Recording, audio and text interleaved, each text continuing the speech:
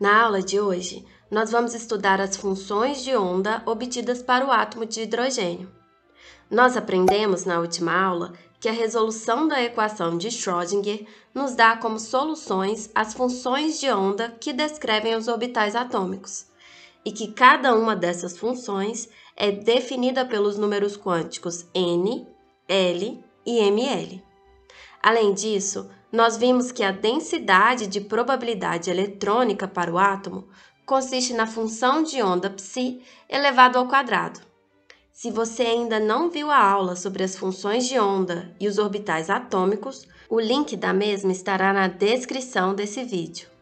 As funções de onda são comumente expressas em coordenadas esféricas, sendo psi uma função de r, que é a distância em relação ao núcleo, mas também depende de dois ângulos, os ângulos θ e φ. Podemos pensar nesses ângulos como latitude e longitude, respectivamente.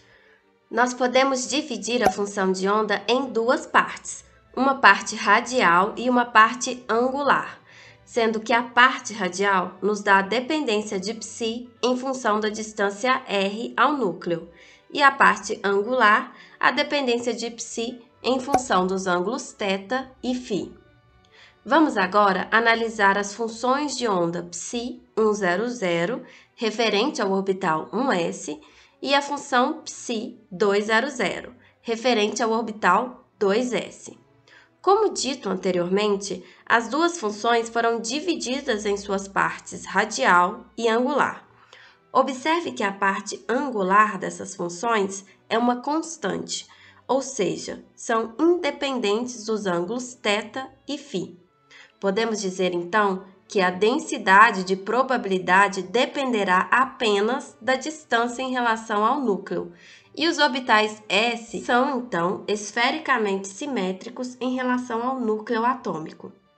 Agora, vamos observar a parte radial das funções psi100 e psi200. Z consiste na carga nuclear do átomo e A0 o raio da primeira órbita de Bohr. Para simplificarmos essas funções, podemos agrupar todas as constantes em uma única constante, que denominaremos de K1S para Psi100 e K2S para Psi200. Podemos observar que ambas as funções apresentam um decaimento exponencial sendo que no caso da função psi200, este decaimento é mais lento. Temos então que, com o aumento do número quântico principal n, o raio do orbital também aumenta, já que os orbitais tornam-se mais difusos. Vamos agora observar graficamente a parte radial dessas funções. No caso da função psi200, podemos notar que há um valor de r em que a função radial é igual a zero. Ao observarmos a equação correspondente a essa função, temos que a função é zero quando r é igual a 2 a 0 sobre z. Neste ponto, há uma inversão de sinal da função de onda, o que não ocorre no caso da função correspondente ao orbital 1s. Bem, como nosso interesse está na probabilidade de se encontrar o elétron, devemos elevar ao quadrado as funções radiais e então obteremos os seguintes gráficos. Observe que, de forma surpreendente, existe uma probabilidade finita de encontrarmos o elétron no núcleo do átomo. Essa característica de penetração é exclusiva de orbitais s e discutiremos essa questão em aulas posteriores. Antes de passarmos adiante, vamos analisar novamente a função de onda radial para os orbitais s. Como já discutimos anteriormente, há um valor de r em que a função radial correspondente ao orbital 2s é igual a zero. Agora, observe a função radial que corresponde ao orbital 3s. Neste caso, há dois valores de r em que a função de onda radial é igual a zero. Essas regiões são denominadas de nós radiais.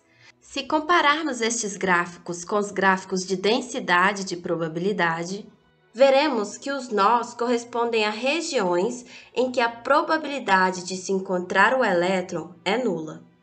O número de nós radiais para um orbital é dado por n menos L menos 1. Dessa forma, temos que para a função de onda psi 100, que corresponde ao orbital 1s, não existe nenhum nó radial. Para a função psi 200, que corresponde ao orbital 2s, há um único nó radial. E para a função psi 300, que corresponde ao orbital 3s, há dois nós radiais. E para um orbital 2p, quantos nós radiais existem? Deixe nos comentários se você sabe a resposta. Uma outra forma muito interessante de interpretar graficamente as funções de onda consiste em considerar o átomo como sendo composto de várias camadas, como se fossem as camadas de uma cebola. Só que devemos imaginar essas camadas como sendo muito finas, com uma espessura D de R. Vamos então calcular o volume dessas camadas esféricas. Nós sabemos que o volume da esfera é dado por 4 terços de Pierre ao cubo. E o volume dessa fina camada deve ser, então, d de V. Ao derivarmos o volume da esfera em função de R, teremos então que d de V é igual a 4πr ao quadrado d de R.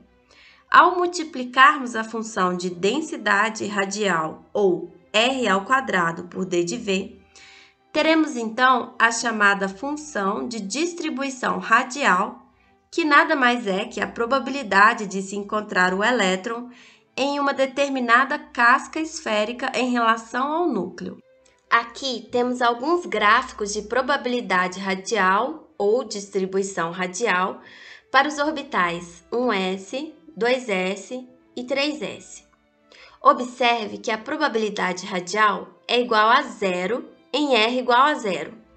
Isso ocorre pois, mesmo que a probabilidade de se encontrar o elétron seja máxima no núcleo, o volume da casca esférica é igual a zero em R igual a zero.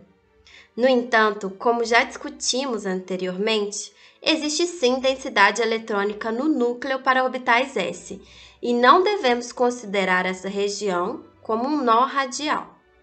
Analisando os gráficos de probabilidade radial para os orbitais 1s, 2s e 3s, podemos observar também que, na medida em que o número quântico n aumenta, a região de maior probabilidade de se encontrar o elétron torna-se mais afastada do núcleo. Sendo esse um resultado esperado, pois nós já sabemos que quanto maior o número quântico n, mais difuso é o orbital.